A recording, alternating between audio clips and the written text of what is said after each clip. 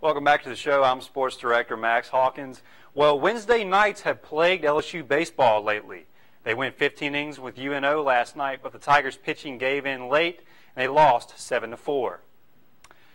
LSU pitcher Todd Peterson got the start from Peterson fielded a ground ball and got it to Jake Slaughter, who got the runner out just in time. You saw that just there. Heck of a play by Slaughter. Later, Slaughter would hit a home run goes yard right there. That's Slaughter's second home run of the year. Just boomed that one. UNO would battle back to tie the score and send the game to extra innings, though. In the top of the 15th, UNO drove in three runs as LSU's pitching started to wane a little bit.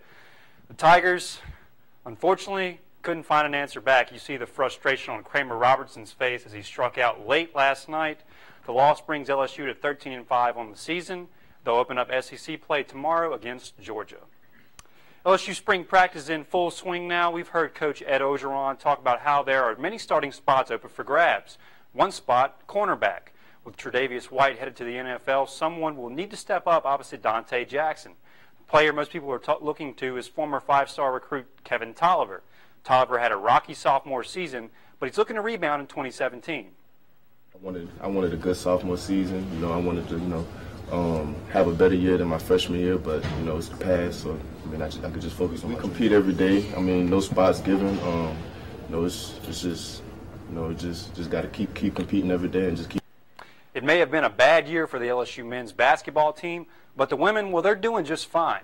The LSU women's basketball team found out Monday evening they're in the NCAA tournament. It was a big turnaround for the Lady Tigers this season. They had a 10 and 21 record last season. They basically flipped it this year, finishing the year 20 and 11. They'll face number nine seed Cal Berkeley in the first round on Saturday. Many fans are just happy to see the Lady Tigers relevant again. But we spoke to the team yesterday, and well, they're not content with just making the tournament. See, it's, it's not enough to just make it to the tournament. We actually want to make some noise. So, you know, just being here and practicing, we've been going hard.